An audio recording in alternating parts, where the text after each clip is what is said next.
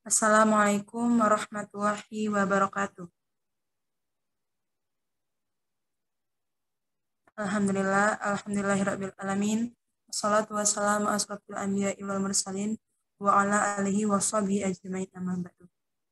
Yang pertama, marilah kita panjatkan puja-puji syukur kita atas kehadirat Allah Subhanahu wa taala yang mana pada pagi hari menuju siang ini kita masih diberikan nikmat kesehatan yang mana kita bisa melakukan ataupun melaksanakan kegiatan perkuliahan baik itu secara offline ataupun online seperti biasanya dan salawat beserta salam tak lupa juga kita hanturkan kepada Nabi besar kita Nabi Muhammad Wasallam dengan melafazkan Allahumma sholli ala sayyidina Muhammad wa ala ali sayyidina Muhammad.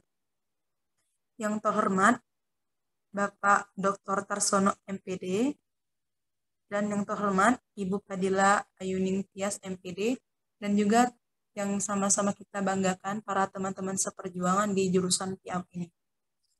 Baiklah, di sini kami dari kelompok 11, yang mana ada saya sendiri, ada Lara Nadia Gratinova, dan ada teman saya, ada Tete Anggun Marcela, yang mana pada kesempatan hari ini kami akan mempresentasikan hasil dari diskusi kami yang berjudulkan tentang permasalahan sosial dan emosional anak usia dini.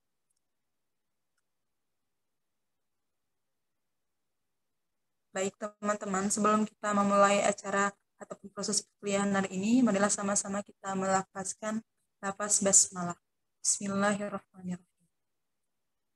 Baik, untuk materi yang pertama akan disampaikan oleh rekan saya kepada Teh Anggun Mansela, dipersilakan.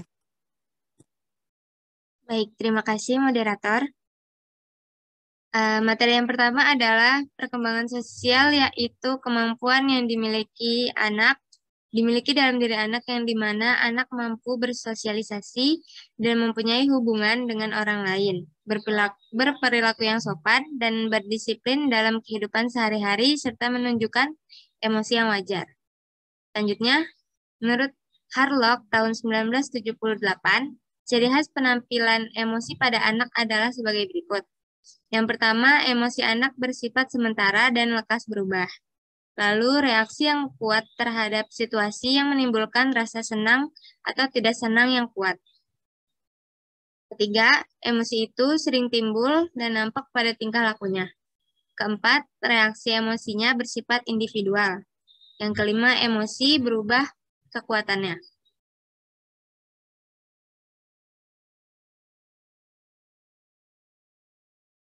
Uh, selanjutnya, jenis-jenis dan identifikasi permasalahan perkembangan sosial emosional pada anak usia dini. Yang pertama itu ada temper tantrum atau yang biasa kita kenal dengan tantrum, yang merupakan perilaku marah yang dimiliki anak secara berlebihan. Ini terjadi pada anak yang berumur 4 tahun. Perilaku ini muncul lebih sering kepada anak saat anak menginginkan sesuatu. Dengan cara seperti marah, mengamuk, memecahkan barang, dan sebagainya. Karena dengan itu anak mengetahui keinginannya akan terpenuhi. Yang selanjutnya adalah pemalu. Pemalu merupakan emosi negatif yang ada pada diri anak maupun seorang anak yang sudah dewasa. Emosi pemalu yang negatif pada anak berdampak tidak baik untuk ber, berdampak tidak baik untuk berhubungan dengan orang lain. Karena emosi ini bisa menghambat dan mengganggu anak dalam berhubungan dan bersosialisasi dengan orang lain yang ada di sekitarnya. Eh, ciri-ciri uh, anak yang memiliki perilaku pemalu ini ada adalah sebagai berikut. Yang pertama itu anak lebih ser, anak lebih senang bermain sendiri. Lalu anak lebih senang menyendiri, pendiam, tidak berani tampil saat bermain atau maju ke depan atau maju ke depan kelas. Yang selanjutnya adalah pembangkang. Pembangkang atau pembangkang adalah perilaku yang tidak mau menuruti apa yang diperintahkan. Perilaku ini uh, dapat dilihat pada diri anak seperti anak tidak patuh saat diperintah dan bersikap keras kepala. Seenaknya sendiri dalam melakukan hal-hal apa pun dan tidak patuh dalam apa yang diperintahkan kepada mereka. Dan selanjutnya adalah pembohong. Pembohong atau berbohong merupakan perilaku yang negatif yang dilakukan secara sadar. Perilaku ini muncul pada anak karena anak takut kalau dimarahi karena kesalahan yang mereka buat. Berbohong untuk mengatasi kekurangan yang ada pada diri anak itu sendiri. Dan yang terakhir itu penakut. Rasa takut merupakan bentuk emosi kecemasan.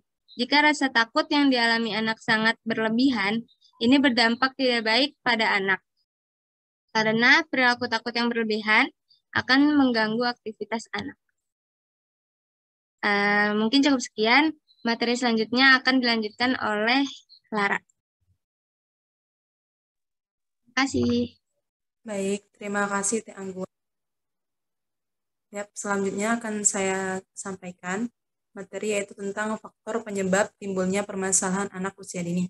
Yang pertama itu ada pembawaan, yakni anak dengan semua keadaan yang ada pada dirinya. Yang kedua yaitu lingkungan keluarga, mencakup pola asuh orang tua, keadaan sosial, ekonomi, keluarga, dan lain-lain. Yang ketiga yaitu ada lingkungan sekolah, meliputi cara mengajar guru, proses belajar mengajar, alat bantu, kurikulum, dan lain-lain. Dan yang keempat yaitu ada masyarakat, mencakup pergaulan, norma, adat istiadat, dan lain-lain.